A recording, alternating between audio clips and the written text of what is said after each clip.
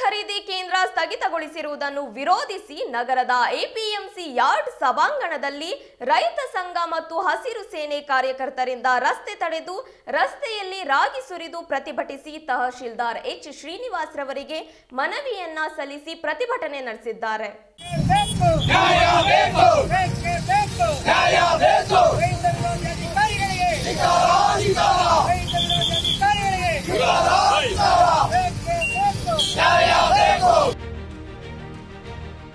ರೈತ ಸಂಘದ ತಾಲೂಕು ಅಧ್ಯಕ್ಷ ಲೋಕೇಶ್ ಗೌಡರವರು ಮಾತನಾಡಿ, ರೈತರ ಅನುಕೂಲಕ್ಕಾಗಿ ಸರ್ಕಾರ ರಾಗಿ ಖರೀದಿ ಕೇಂದ್ರ ತೆರೆಯಲಾಗಿತ್ತು.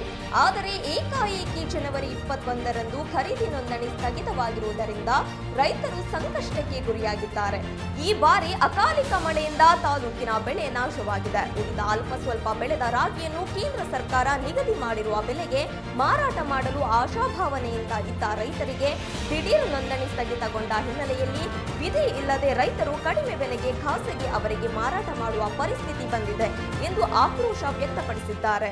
ಇವತ್ತೇನ್ ನಮ್ಮ ಕೇಂದ್ರ ಸರ್ಕಾರ ಎಂಎಸ್ಪಿ ಎಂಎಸ್ಪಿ ಬೆಂಬಲ ಬೆಲೆಯನ್ನು ಘೋಷಣೆ ಮಾಡಿದೆ. ಆದರೆ ಆ ಘೋಷಣೆ ಪ್ರಕಾರ ರಾಜ್ಯ ಸರ್ಕಾರ ಇವತ್ತು ಖರೀದಿ ಮಾಡೋದಕ್ಕೆ ಒಂದು ಬಂಡವಾಳಶಾಹಿಗಳು ಶಾಮೀಲಾಗಿ ಕೇವಲ ಒಂದು ಒಂದು ಟಾರ್ಗೆಟ್ ಅನ್ನು ರೀಚ್, ಒಂದು ಗುರಿಯನ್ನು ನಿಗದಿ ಮಾಡಿ ಆ ನಿಗದಿ ಮುಗಿದ ತಕ್ಷಣ ನಿಮ್ಮ ಖರೀದಿ ಮುಗಿದೋಯ್ತು, ಇನ್ನು ನೀವು ಖಾಸಗಿ ಅವ್ರು ಮಾಡ್ಕೊಳ್ಳಿ ಅಂತ ಒಂದು ಒಂದು ಇಂಡೈರೆಕ್ಟ್ ಆಗಿ ಒಂದು ಹೇಳುವಂತ ಮಾಹಿತಿಯನ್ನು ಹೇಳ್ತಾ ಇದ್ದಾರೆ. ಇವತ್ತು ನಮ್ಮ ಗೋರಿಂದ್ರ ತಾಲೂಕಿನಲ್ಲಿ ಸುಮಾರು ನೂರ ಮೂವತ್ತು ಜನ ಈಗ ನೋಂದಣಿಕೆ ಆಗಿದೆ. ಇನ್ನ ಇನ್ನೂರಿಂದ ಇನ್ನೂರೈದು ಜನ ನೋಂದಣಿಕೆ ಮಾಡ್ಕೋಬೇಕಂತ ಪರಿಸ್ಥಿತಿ ನಿರ್ಮಾಣ ಆಗಿದೆ. ಆದ್ರೆ ಇವತ್ತು ಅವ್ರ ಏನ್ ಹೇಳ್ತಾರಪ್ಪ ಅಂದ್ರೆ, ನಮ್ಮ ಗುರಿ ಮುಗಿದಿದೆ ನೀವು ಮತ್ತೆ ಓಪನ್ ಆಗ ಬನ್ನಿ ಅನ್ನೋ ಮಾತು ಹೇಳ್ತಾ ಇದಾರೆ ಇವು ನಮ್ಮ ತಾಲೂಕಿನಲ್ಲಿ ಒಂದನೇ ತಾರೀಕಿಂದ ಜನವರಿ ಒಂದರಿಂದ ಮಾರ್ಚ್ ಮೂವ ಮೂವತ್ತೊಂದರೆಗೂ ಒಂದು ಖರೀದಿ ಮಾಡಬೇಕು ಅಂತ ಒಂದು ಅವರೇ ಒಂದು ಪ್ರಕಟಣೆ ತಿಳಿಸಿದ್ದಾರೆ.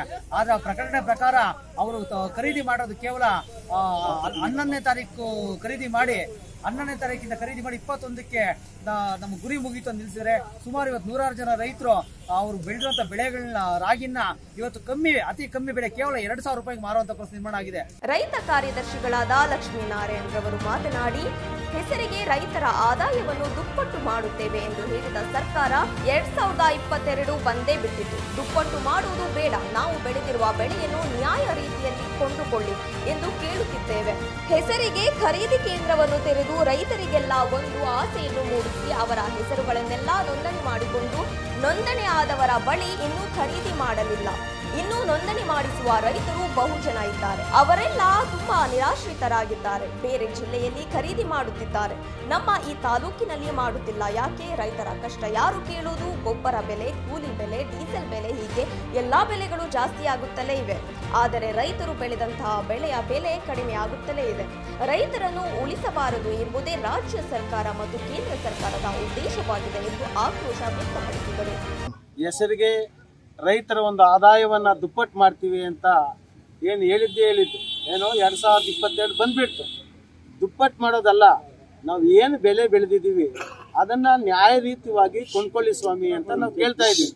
ಹೆಸರಿಗೆ ಖರೀದಿ ಕೇಂದ್ರ ಓಪನ್ ಮಾಡ್ದಂಗೆ ಮಾಡಿಬಿಟ್ಟು, ಎಲ್ಲ ರೈತರಿಗೂ ಆಸೆ ಇಡ್ಸ್ಬಿಟ್ಟು, ಅವ್ರ ಹೆಸರೆಲ್ಲ ನೋಂದಾವಣೆ ಮಾಡಿಬಿಟ್ಟು, ಆಮೇಲೆ ಇನ್ನೂ ಬರೋವರ್ನು ಕಾಯ್ತಾ ಇರೋರಿಗೆ ಇವರೇನೋ ಹೋಗ್ಲಿ ಅವ್ರದ್ದೇನೋ ಖರೀದಿ ಮಾಡಿದ್ರೆ ನಾವು ಹೋಗೋಣ, ನಾವು ಹೆಸರನ್ನು ನೋಂದಾವಣೆ ಮಾಡೋಣ ಅಂತ ಇನ್ನ ಹಿಂದ್ಗಡೆ ಸಾಲಿನಲ್ಲಿ ನಿಂತಿರ್ತಕ್ಕಂತ ಅನೇಕ ರೈತರಿಗೆ ನಿರಾಶೆ ಪಡುವಂತ ಒಂದು ಸ್ಥಿತಿ ನಮ್ಮ ಒಂದು Gauribidanur A P M C ಮಾರುಕಟ್ಟೆ ಒಂದು ಕೇಂದ್ರದಲ್ಲಿ ಒಂದು ದಿವಸ ನಾವೆಲ್ಲ ನೋಡ್ತಾ ಇದ್ದೀವಿ. ಇದಕ್ಕೆ ನಾವು ಧಿಕ್ಕಾರ ಹೇಳ್ತೀವಿ. ಧಿಕ್ಕಾರ ಹೇಳ್ತಾ ತಕ್ಷಣವೇ ಖರೀದಿ ಕೇಂದ್ರ ಓಪನ್ ಮಾಡಿ ರೈತರ ಒಂದು ಬೆಳೆದಿರ್ತಕ್ಕಂಥ ಇರೆಸ್ಪೆಕ್ಟಿವ್ ಆಫ್ ಎಲ್ಲಾನು ಮಾರ್ಜಿನಲ್ ಫಾರ್ಮರ್ ಆಗಿರ್ಬೋದು ಬಿಗ್ ಫಾರ್ಮರ್ ಆಗಿರ್ಬೋದು, ಎಲ್ಲರನ್ನು ಖರೀದಿ ಮಾಡಿ ರೈತರ ಕುಲಕ್ಕೆ ಅವರ ಅನುಕೂಲ ಮಾಡಬೇಕು, ರೈತನ ಕುಲ ಉಳಿಸಬೇಕು ಅಂತ ಈ ಮೂಲಕ ನಾವು ಒತ್ತಾಯ ಮಾಡ್ತೀವಿ. ನಾಳೆ ಬನ್ನಿ ನಾಳೆ ಬನ್ನಿ ಅನ್ನೋ ಒಂದು ಮಾತಿನಿಂದ ಅಧಿಕಾರಿಗಳು ಹೇಳ್ತಂದ್ರೆ ಹಂಗಾಗಿ ಇವತ್ತು ನಾವು ಸಾಂಕೇತಿಕವಾಗಿ ಒಂದು ರಸ್ತೆ ತಡೆ ಮಾಡಿ ಕಾಯ್ದೆ ಮುಖಾಂತರ ಇವತ್ತು ನಾವು ಸಮೀಪದ ಪ್ರತಿಭಟನೆಯಲ್ಲಿ ರೈತ ಮುಖಂಡರುಗಳಾದ ಸನತ್ ಕುಮಾರ್ ಶ್ರೀನಿವಾಸ್ ಮುನಿ ವೆಂಕಟಪ್ಪ ರಾಮಚಂದ್ರ ರೆಡ್ಡಿ ಇನ್ನು ಮುಂತಾದವರು ಉಪಸ್ಥಿತರಿದ್ದರು.